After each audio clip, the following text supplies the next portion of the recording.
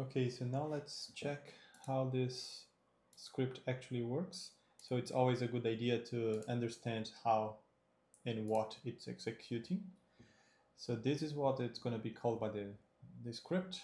And you can see here that the first thing that it does is to source some other file here, which is the build func.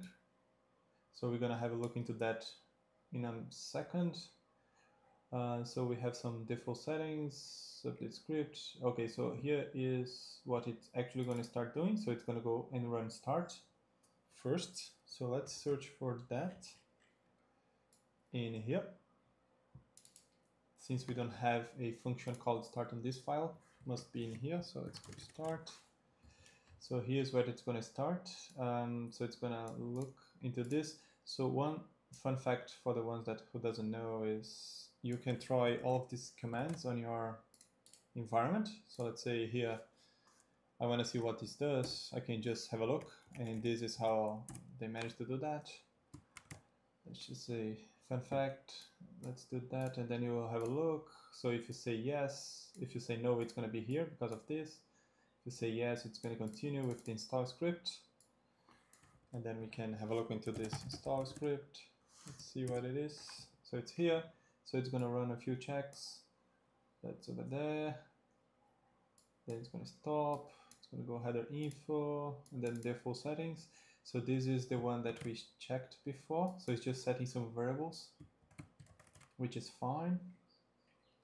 And then otherwise it's going to be advanced settings, which is going to lead you down the other path.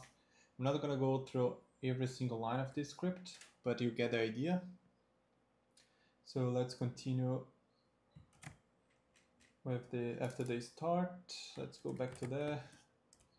Start. Is there anything else here? Start script? So this is how to run the update. Nope. Okay so that's all. And next is going to be build container. Oh which is down here. Uh, so let's see how they do it. So it's going to build container and depending if you select alpine it's going to get that other one. Otherwise it's going to be this one here. So let's see what it's doing. So it's setting some colors ip so it's all functions. Message info okay error. Setting up container. Another function update os customize. Okay so it's not calling anything it's just setting up a few functions. So let's see what it does so some more variables and uh, here is another one. So it's sourcing another file. Let's see what it does here. Uh, so here um, a few more variables, a few more functions, same as before, message okay. Select storage, so this is how they select the storage. Again, here's giving you a few prompts. Um, oh, and here is how they create. So they use this PCT create. So if you don't know, you can automate everything using single line. So, oh, wait a second. Let's see. Where is it? Have I missed it? Oh, here.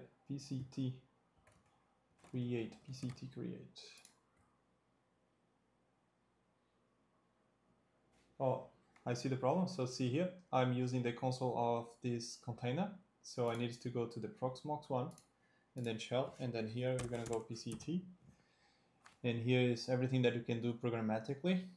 And here you see PCT clone create. So they are using the create. They pass the ID and then the template and the options that it set up before. Let's see where were we? So PCT, we're not here. I'm here. PCT create, so giving the ID, the templates, and the storage locations. Yep. So that's how they create that. And then if we go back, so create LXC, let's go back. We were here. And then after that, it's gonna set up a USB pass-through. If available, if you set up the type zero, which is privileged. So this is for privileged containers.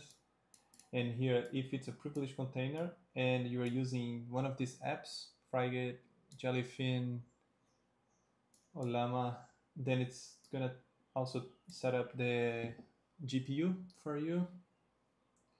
So that's how you set up GPU, just in case you want to do that manually as well. Uh, right, use that zero card, and then it's going to start the container. Again, the same command that we saw before, pct start, which is fine. And then it's going to run some execution on, and then here, so this is the important part. LXC attach is what makes it possible to run a command on your recently created machine.